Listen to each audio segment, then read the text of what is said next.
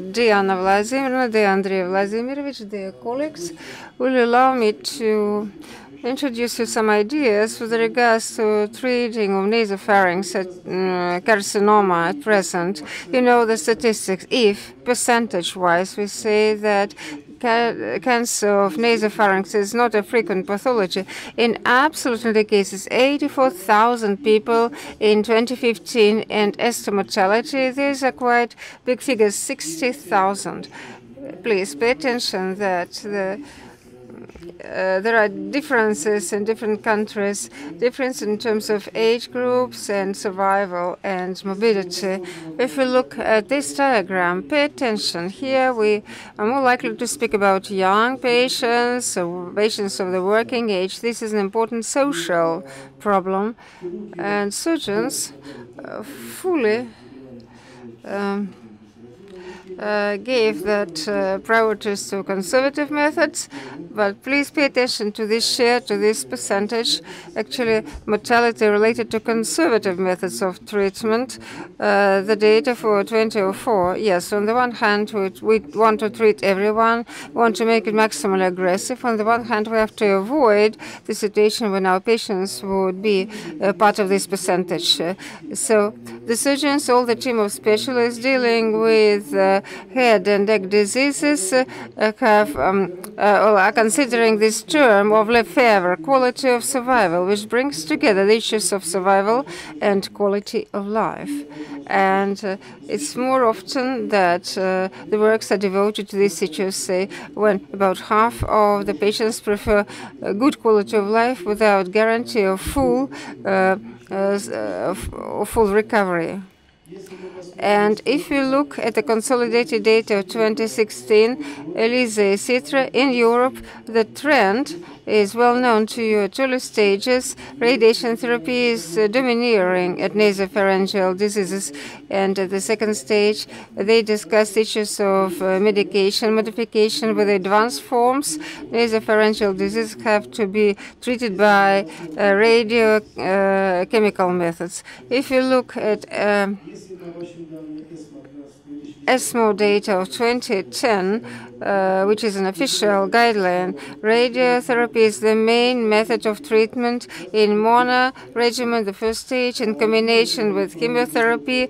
Uh, the third and fourth stages recommended to conduct radiotherapy with modulated intensity or 3D uh, rendering, uh, and uh, high doses are recommended as prophylaxis. Plus, they provide prophylactic radiation of the zones of potential spread um, in terms of uh, local potential relapse and lymphocollective. If you look at CCN data, please uh, look at the link reference at each page of guidelines. If we translate that, um, CCI team considers that participation in clinical trials provides better management of oncological patients. On one hand, there are standards and recommendations, but if we can uh, move away from them in, in favor of better treatment, it's not excluded. So these are the standards uh, uh, for 2016. Local forms provide independent radiation treatment, more advancement with primary uh, lesion and nose. Here, first stage implies clinical trials. All the rest is uh, considered as possible variants, simultaneous chemoradiotherapy with adjuvant treatment, radiochemical uh, treatment without adjuvant chemo treatment, separate groups of patients with induction polychemotherapy. Then there is assessment of the effect, and lymphadenectomy issue is considered separately and individually. And if you look at local forms, these are the modern methods and potentials of delivery, delivering the doses. On one hand, local precision delivery of the doses allows to provide escalation of the dose in the area of uh, irradiation, uh, plus uh, uh, we can uh, uh, calculate less less toxic dose. A combination of diagnostic methods when we see that MRI here is the volume on CT, which is not identified. here we can introduce them into the target and. Uh, we can provide uh, high precision dose, uh, positioning control. this can be done uh, we can separately consider the dose of incurable patient. There is an experience with 67 patients, the stages of dissemination of the process, and uh, they considered uh, induction polychemotherapy when uh, we decide not to do chemotherapy, uh, uh, radiotherapy in the beginning. And here are patients with intracranial growth. They had induction chemotherapy treatment with different regimen, which allowed to take for radiation therapy, thorough one. These are the results. These are the direct results. Have a look how well uh, the primary lesion differed, and uh, then we had morphological confirmation and improvement of response in lymph collectors. If you look at clinical case, if in this we have to deal with these kind of groups of patients, uh, uh um, uh, the nasopharyngeal uh, carcinoma of the fourth stage, and here after polychemotherapeutic treatment, you see uh, there have been docetaxel and plasma, eight courses, radiation therapy, 60 gray in this um, uh, regimen, 2.5 gray lymph. Our patients refused from lymphadenectomy, and despite uh, this refusal, and plus uh, uh, the dose 60 gray. Have a look. The patient now uh, does not have tumor process either. by the way, lymph collectors were involved. so not, neither in the area of primary lesion, but it's not always they have such good effect in primary lesion and in the neck. Does it allow us to talk about domineering role of radiation therapy? Here is a, a case with a patient of 60 year old where first she had a small process, how, how regional uh, process was uh, massive. Uh, she had metastasis, she had chronic pharyngitis, so the diagnosis was uh, cancer of oral Uh, pharynx and then nasopharynx. Uh, that is how nasopharynx uh, looked like, the left tubular fold area, and this is how metastasis on the neck looked. Thus, the patient received chemotherapeutic treatment, induction polychemotherapy, and here you see the medications. After that, there was radiation therapy 70 gray dose. This is how uh, the target, uh, the the tumor looked like, and you see uh, the response of the primary lesion and uh, uh, partial response of the nodes. There is response on the part of the nose. This is another projection on the other side. It's natural. The patient was sent for lymphadenectomy. We received pathomorphosis of the second degree in the lymph nodes. So far, as to this standard lymphadenectomy, especially with uh, mass uh, lymph node lesions, uh, cannot be excluded. This is how the patient looks like she is alive, no relapses. Another issue, the choice of the volume of radiation. It's a complex uh, issue, especially when you talk about complex combined treatment and changes of the volume of lesion. Here you see a clinical case, a 56-year-old patient. Uh, look at the primary lesion, and uh, that was the area of nasopharynx, how he looked after uh, polychemotherapeutic treatment. We gave the dose of 70 gray and uh, our more and more uh, methods such as fusion allowed uh, to deliver the dose precisely. This is how the volumes look like, including lymph collectors, the dose distribution, and with histogram assessment. And this patient at this moment uh, is fine, no local changes in primary lesion on the neck. And another situation, which is just the opposite, 45-year-old patient, such dissemination of the process, that list of the involved structures. And in the beginning, we started treatment with polychemotherapy with good effect. Uh, there was partial response, and then there was radiation in the dose of 60 gray. But where was the problem? At this time, this is a debatable issue whether we have an opportunity to exclude from the volume of treatment the risk zones if um, uh, there is uh, initial uh, tumor. Uh, this is uh, the area of uh, trigurium cerebellum, and here pontus cerebellum. And in the beginning, there were metastases on the neck, and then later this was uh, that zone which uh, required neurosurgical intervention, and then there was progression of the process, and that was lethal outcome. so at present, the standard allow us to, well, to to find our way in managing patients, and we more often talk about the biology of tumors. Yesterday we talked about disease of neck and uh, head, and uh, we have to differentiate between two factors, uh, prognostic and predictive factors. We often meet the works where we speak about the prognosis. Prognosis is assessment of potential development, and predictors potential assessment of the efficacy of certain method of treatment.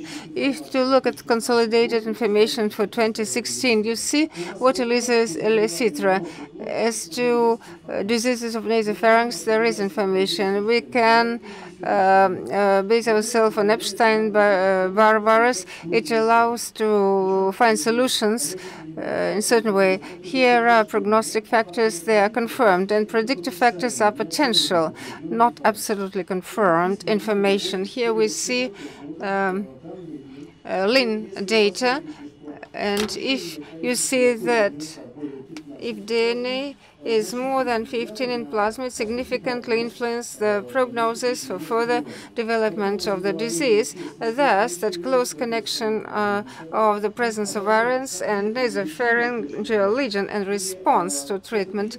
And it, at present, if you want to receive additional information, it requires routine identification of DNA in plasma. According to Chankov 2014, the level that is recommended to identify it is uh, limited by 4,000 1,000 copies. Thus, modern level of radiotherapy allows uh, precise delivery of dose of ionizing radiation, which makes us more responsible in determining the volume of radiation. Previously, we could take larger volumes. Still, they were required. Uh, well, connection with the equipment. Now we have to identify the targets. Consecutive uh, chemotherapy uh, treatment also opens new opportunities to treat early curable questions. Another issue is the resection, the resorption of tumor area. When here we risk the damage of vital organs, and the separate item is the uh, adjustment of indications for removal of regional lymph collector. There are four indications, however, there are no reasons, there have been no design re reasons for the non-removal. That applies also to the uh, um, nasopharynx uh, cancer. The priority here is the quality of life. The biology of tumor is also an important issue. We have already identified the predictors for this type of cancer. We can also dare to design individual program for treatment of patients uh, upon biological characteristics. Maybe it makes sense to stratify patients across uh, prognosis and, and different dosage and other types of uh, criteria, including localizations, and we should do not just for other types of cancers, but for nasopharynx cancer too. Thank you. Please, your questions.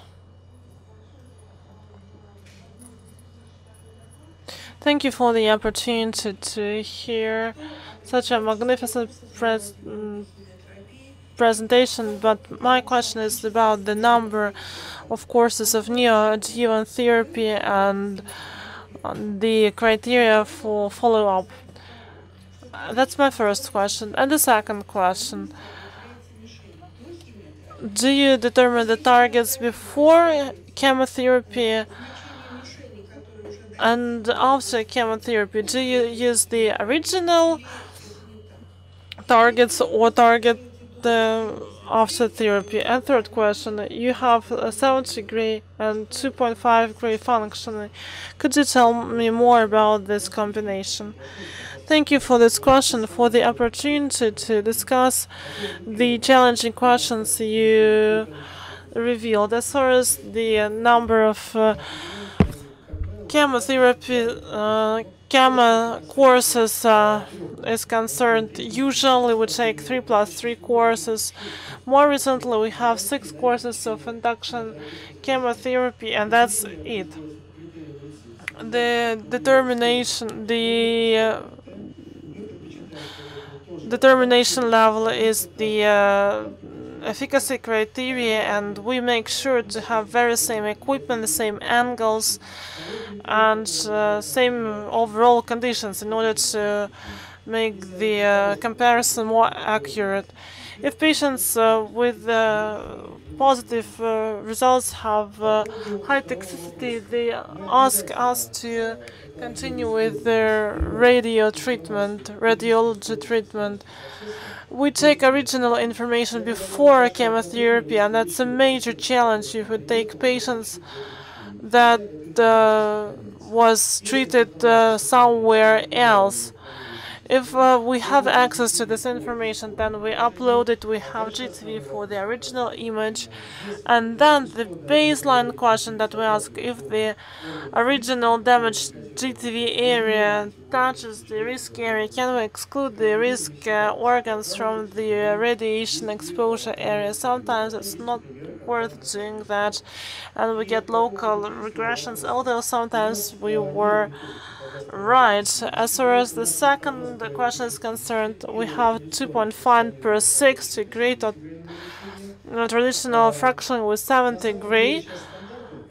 The uh, standard uh, that we use now is 2 gray or less, that is uh, subscribed and in NCCN. But they also have direct indication on compensation of doses at the first uh, at the early stages when compensation takes place. I would also like to ask you, we have just returned from Minsk, we had another presentation there, but there was also the question about the original non-curable patient and when after the radiation therapy we got the total clinical resorption of tumor, the patients anyway went to the surgical uh, operation, surgical intervention, and many scientists. Uh, we had the uh, video conference and they asked us why did you do that when you had the total resorption of a tumor and you had the fourth grade of damage for many patients. So why did you do that? And the second question, why did you do that short, so shortly after the chemotherapy? Why didn't you let the effect unfold fully? And why didn't you have the operation for the confirmed remnants only, and that's how they consider the issue nowadays.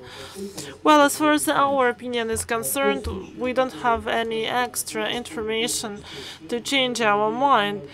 Uh, we had the bone destruction in the first case, so we could not let the person stay without surgery, and we were true because we had pathomorphology there.